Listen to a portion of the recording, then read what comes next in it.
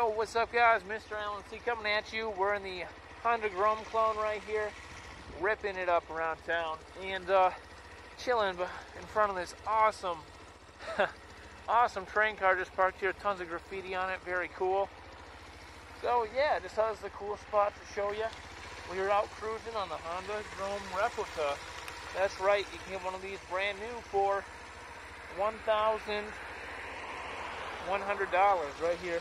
Got a link in the video description. Check it out.